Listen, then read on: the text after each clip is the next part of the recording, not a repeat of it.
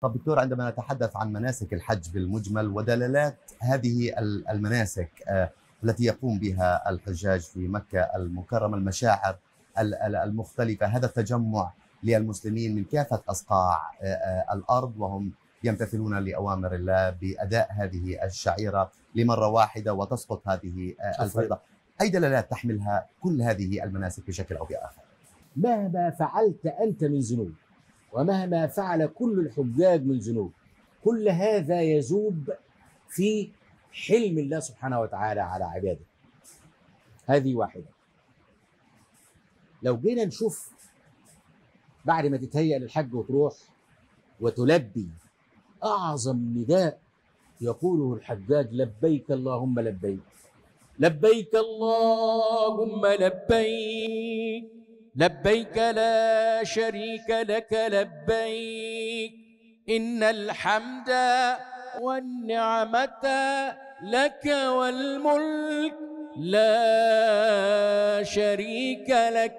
لبيك اللهم لبيك لبيك لا شريك لك لبيك إن الحمد والنعمة لك والملك لا شريك لك. كل الناس أخي الكريم تعج بهذا النداء العظيم الذي بعظيم ما تقوله وإحساسك ونفسك وروحك طواقة بهذا الكلام ترقى بذكرك هذا والملائكة تنظر إليك وتراك. بهذا النداء العظيم وهذه التلبية العظيمة. وأنت بتقول لربنا لبيك لبيك يعني يا رب أنا موافق وفرحان إني جاي لك وأنا هطيعك في كل حاجة.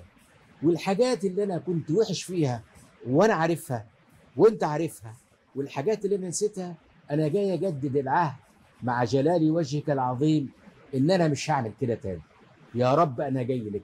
يا رب اقبلني ولذلك نصيحة لكل حاج قبل أن يحج ولكل محتفل هنا بيوم عرفات في بلده في بيته في المسجد بمنطقته أن يتوب إلى الله اولا. هذه أعظم نقطة أراها أهم نقطة. عدم التوبة يمنعك من الوصول طب ما أنا عندي فلوس ورحت خدت التأشيرة ورحت عدم التوبة يمنعك من القبول.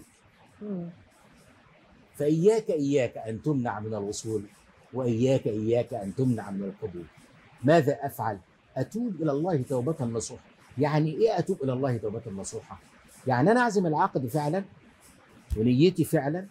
إن أنا مش هعمل المعاصي دي خالص. حتى ولو أنت هتعملها وأنت إنسان لابد وأن تخطئ مش هتعيش طول حياتك حتى بتوع أهل بدر. اعملوا يا أهل بدر فالله قد غفر لكم.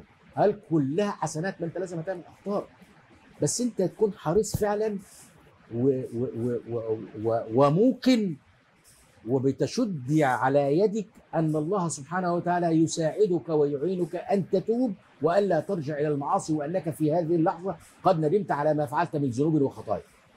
هذه واحدة.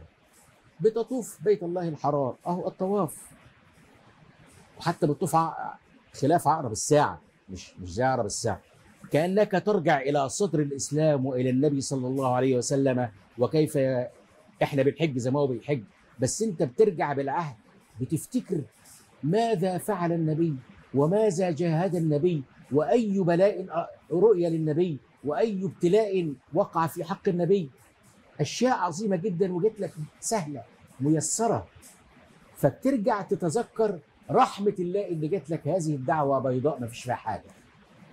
لف وتذكر لف وتذكر. ثم تذهب إلى السعي. السعي ده شيء عظيم جدا. بيعلمك أمنا هاجر إن هي عايزة الماء لابنها ولدها طفلها إسماعيل عليه السلام. هل إسماعيل كان في في بين في منطقة السعي ولا السعي بين الصفا والمروة؟ لا. ده كان هناك في في مقام إبراهيم. يعني بين الكعبة وبين زمزم. مش عنده.